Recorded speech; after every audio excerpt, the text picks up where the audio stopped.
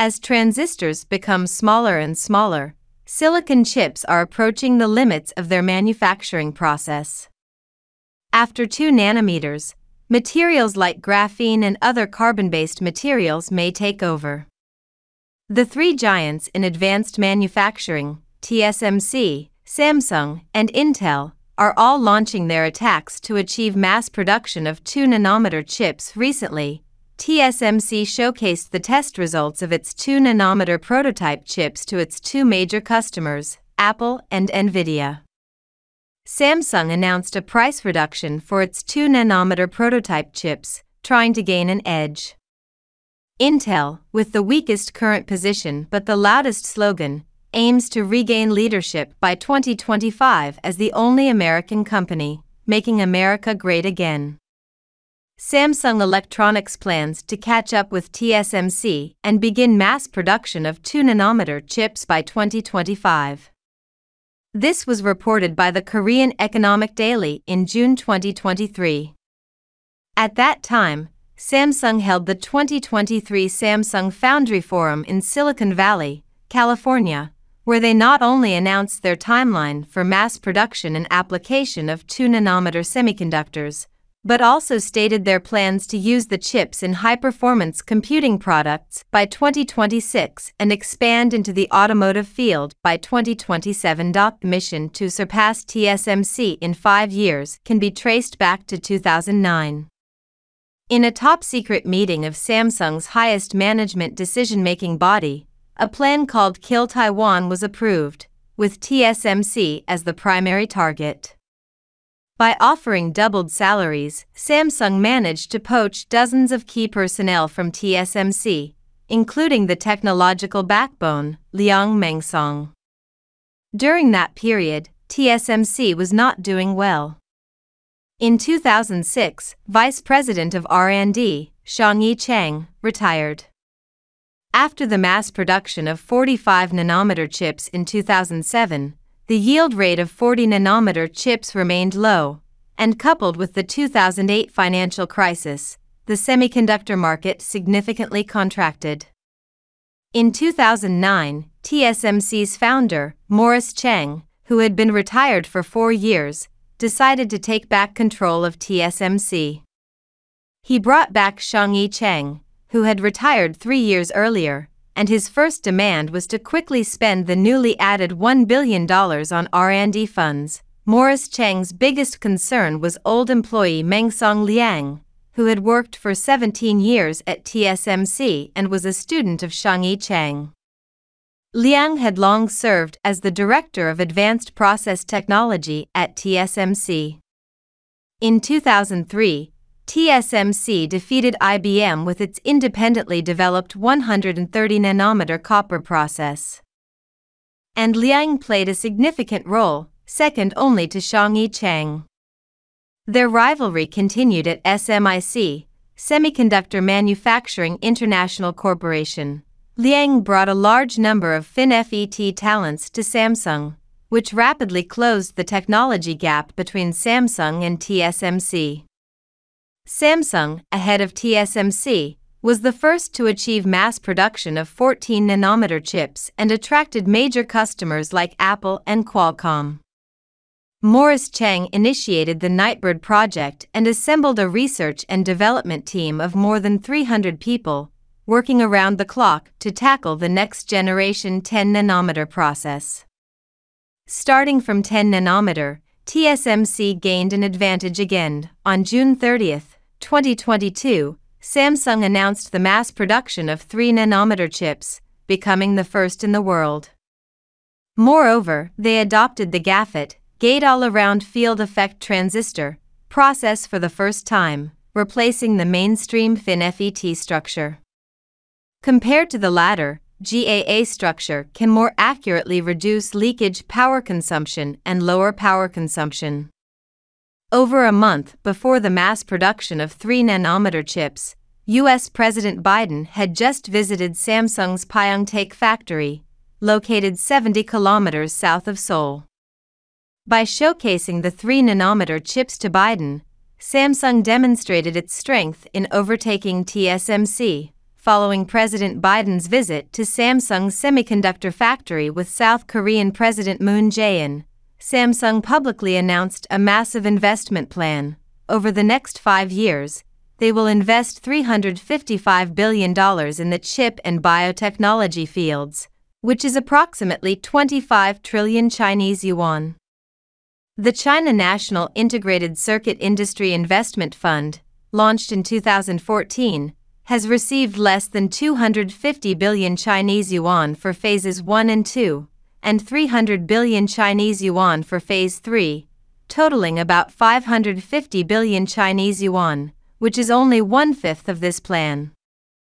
The Pyeongtaek campus that Biden visited has a total investment exceeding $24 billion which is even larger than the scale of the first phase of the China National Integrated Circuit Industry Investment Fund. According to Samsung's latest detailed roadmap, in addition to mass producing 2 nanometer chips by 2025, they also plan to expand the production of chips manufactured using the GAA process to 3D packaging. Samsung has already formed an advanced packaging AVP business team within its semiconductor division. By 2027, Samsung will be on schedule to mass produce 1. For nanometer chips, in June 2023, TSMC, which holds a market share of nearly 60%, typically avoids commenting on its competitors. However, in the same month, TSMC also made some noise, its 2 nanometer technology was progressing better than expected and was set to achieve the goal of trial production in 2024 and mass production in 2025. Insiders revealed that TSMC would convene a research and development team of over a thousand people to lead the way in mass producing 2 nanometer chips at its Fab 20 in Baoshan, Hsinchu, Taiwan, for a single 2 nanometer chip the price approaches nearly $25,000, marking a more than 30% increase compared to the price of less than $20,000 for a 3 nanometer chip. In the advanced process technology field, TSMC holds the sky high pricing power and a gross profit margin of over 40%. Only Texas Instruments, which focuses on mature processes, has a similar profit margin, however, Achieving such high prices requires substantial investment. In 2022, TSMC's R&D expenses reached $5.472 billion, nearly quadrupling over the past decade, and its cash investment flow amounted to $39.9 billion, also more than quadrupling. While Samsung took the lead in mass producing GAA-based 3 nanometer chips, the low yield rate has become a costly hurdle in its attempts to catch up with TSMC. During the initial production phase, Samsung's 3 nanometer yield rate was only 20%. Despite continuous improvements, the yield rate remained around 60%. TSMC has introduced multiple new technologies in the 2 nanometer process, including GAA transistors, backside power delivery, and ultra high performance capacitors. The GAA, seen as the cornerstone technology for processes below 2 nanometers, was previously not present. In the past, transistors were long and used a planar structure. Over the past decade, following Intel's adoption of FinFET at 22 nanometers, the 3D fin like structure has become mainstream. This also holds for TSMC's 3 nanometer process, IN semiconductors. Computation is performed by opening when powered and closing when not powered, controlled by the gate's regulating valve. In the FinFET structure, the gate blocks three sides of the current channel. As semiconductors become smaller, the gate also becomes smaller, leading to reduced control capabilities. Once the size goes below 2 nanometers, leakage increases in areas without gates, leading to power waste and difficulty in improving performance. GAA reorients the previous vertically oriented fin like device horizontally, so gates now encircle all four sides and allow for multiple parallel placements. Of course, the technology difficulty of GAA has correspondingly increased. Due to limitations of the EUV lithography machine, it can only process 90 wafers per hour, while the industry expects a speed of at least 125 wafers per hour. It is currently difficult to achieve a simultaneous high yield rate and efficiency. Currently, TSMC is the only company publicly disclosing information regarding the structure, 2 nanometer node iteration, and resulting changes in density and performance.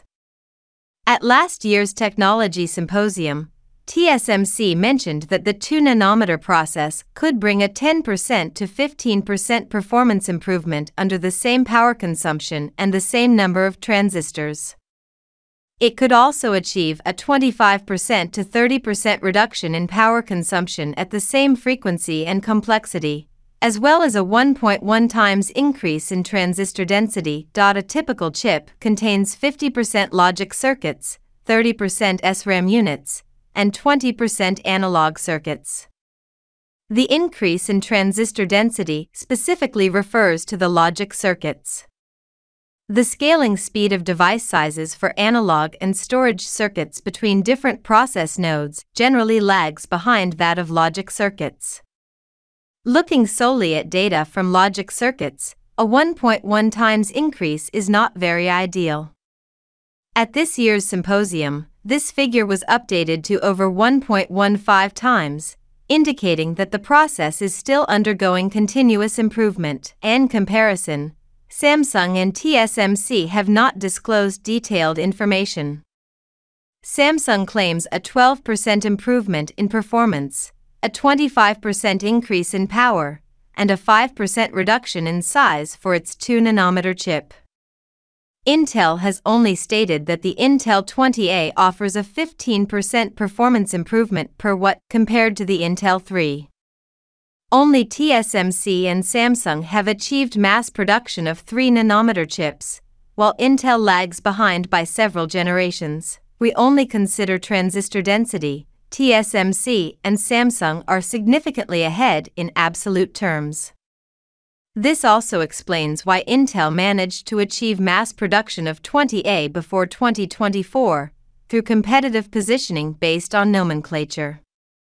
According to IC Knowledge's data, the 20A transistor density is small, making it easier to manufacture. Since TSMC and Samsung surpassed Intel in the 7 nanometer and 5 nanometer eras, Intel has changed its iteration strategy and refrained from discussing several nanometers. In February of this year, Intel once again confirmed at a strategic media communication meeting that the test chips of 20A have been taped out. Currently, Ericsson has announced the adoption of Intel's 1.8 nanometer process technology to customize 5G chips. Intel plans to mass produce the Intel 20A process in 2024. Each foundry has a different name for their process, such as Intel 20A, TSMC N2, and Samsung 2 Gap. However, these names do not necessarily represent the actual physical dimensions of the transistors or devices.